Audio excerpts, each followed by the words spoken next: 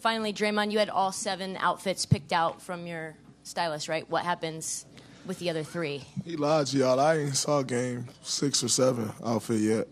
Um, they still got that. I got game five outfit though. It's pretty dope. I really don't want to wear it though. Fourth row on the aisle.